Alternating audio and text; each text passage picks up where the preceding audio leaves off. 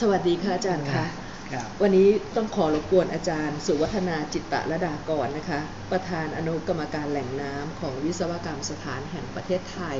ในพระบรมราชูปถัมภ์เพื่อที่จะขอความรู้เกี่ยวกับเรื่องการสร้างอ่างเก็บน้ำหนึ่งในโครงการ 3.5 แสนล้าน หรือหนึ่งใน 21 เขื่อนที่กบอเนี่ยเตรียมจะสร้างอืมแล้วก็ได้ทำการ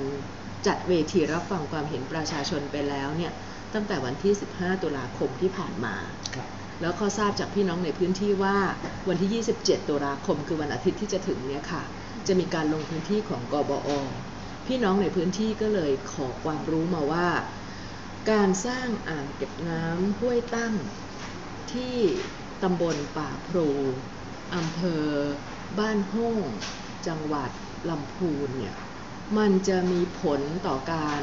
แก้ปัญหาภัยพิบัติน้ำท่วม น้ำแล้ง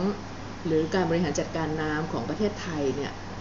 ได้จริงอย่างไรหรือเปล่าคะอาจารย์การสร้างอ่างตรงนี้ครับก็ถ้าพูดถึงการสร้างอ่างเนี่ยปกติในเรื่องของเออเป็นมาตรการในการป้องกันน้ำท่วมเนี่ยเนื่องจากว่าทางจังหวัดลำพูนนี่ก็จะอยู่เหนือน้ำเนาะอยู่ที่ต้นที่อยู่ที่ต้นน้ำ คอนเซปต์ของการระบายน้ำเนี่ยของของของการแก้ปัญหาน้ำท่วมก็มีอยู่สามสามเรื่องนะครับสามเรื่องก็คือถ้าต้นน้ำเนี่ยเขาก็จะพยายามที่จะเก็บกักน้ำไว้ค่ะหรือว่ามี storage ก็เรียก storage ช่วงกลางก็จะจะพยายามชะลอมันไว้ไม่ให้มันลงมาเร็วเกินไป ส่วนช่วงปลายนี่ก็เร่งให้น้ำออกออกทะเลนะครับคราวนี้ในถ้าถามถึงในเรื่องของตัวเขื่อนตัวเนี้ยว่าเขื่อนเอ่อห้วยตั้งที่จริงเขื่อนห้วยตั้งนี่ถ้าดูจากข้อมูลนะที่จริงผมเองก็ยังไม่เห็นรายละเอียด ของที่ทางกบอหรือทางทางรัฐบาลเองเนี่ยให้ให้ให้ให้มาจริงๆนะค่ะมันก็เลยเลยอาจจะคอมเมนต์ยากนิดนึงในเรื่องของตัว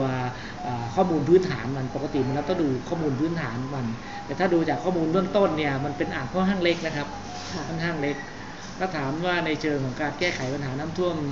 อะไรมันอาจจะมีผลไม่ค่อยเยอะอะน้อย เพราะว่ามันเล็กนิดเดียวไม่ถึง เล็กนิดเดียวหมายถึงผลที่จะได้กับการแก้ปัญหาน้ำท่วมอาจจะไม่เยอะครับทีนี้ผลที่ชุมชนจะได้รับเป็นยังไงเนี่ยในฐานะที่อาจารย์เป็นนักสร้างเขื่อนอยากให้อาจารย์ช่วยดูจากข้อมูลเท่าที่เรามีอย่างนี้